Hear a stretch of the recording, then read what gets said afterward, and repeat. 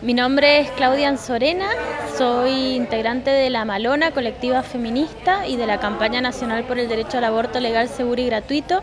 Y estamos acá este viernes de calor en el Le Parc presentando un taller sobre arte y activismo feminista y una charla sobre genealogías feministas eh, que han venido unas compañeras de Buenos Aires que se llaman Mujeres Públicas. Soy Fernanda Carrizo del grupo colectivo feminista Mujeres Públicas. Venimos trabajando eh, desde la perspectiva feminista en distintas intervenciones desde el año 2003, eh, con distintos dispositivos, lenguajes, que van desde el humor, la ironía. los ejes que venimos trabajando tienen que ver con eh, tratar de desarmar las miradas sesgadas sobre el tema de, los estereotipos de géneros,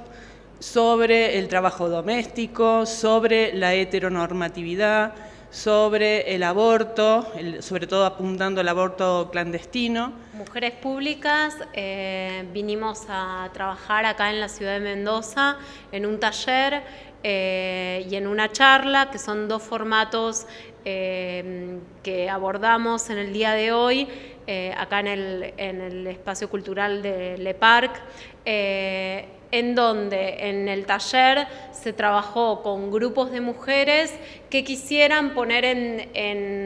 en el tapete, digamos, que quisieran poner en evidencia algún tema relacionado con el contexto mendocino, con el contexto del feminismo local y con eh, ese, eh, una intervención sobre ese contexto. Entonces se dio ese taller, se hizo una puesta en común, se elaboraron estrategias de intervención callejera en la vía pública con esas temáticas para de alguna manera visibilizarlas, ponerlas... Eh, sobre discusión en, todos los lugares, ya sea en las casas, como en la calle, como en los espacios educativos, como en los espacios de manifestación o políticos. Eh, afiches, eh, distintas formas de, producción, pero que son tanto discursos como este, dispositivos que usamos hasta el día de la fecha. O sea, lo seguimos repitiendo, o sea, no es una cosa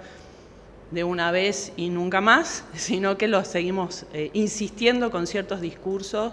o por lo menos señalando ciertas prácticas que queremos que, que se transformen. Las metodologías que abordamos en el día de hoy en el taller eh, estuvieron relacionadas con el activismo callejero, eh, con herramientas eh, propias de ese lenguaje, como son el stencil, el afiche, la defuncionalización de objetos, el, buscarle el humor o la ironía o la performance a, alguna idea que, que tuviera relación desde el feminismo, desde cómo hacer que una problemática que, que, atravesamos todos los días las mujeres la pongamos en discusión dentro de la sociedad, dentro de lo que es la política de un contexto social. Temas que tenían que ver también con la educación sexual integral, abordaron esos, esos temas desde lo económico, eh, lo doméstico hasta eh, lo coyuntural desde una perspectiva feminista. Y un poco las metodologías que otorgamos nosotras tienen que ver con el hacer,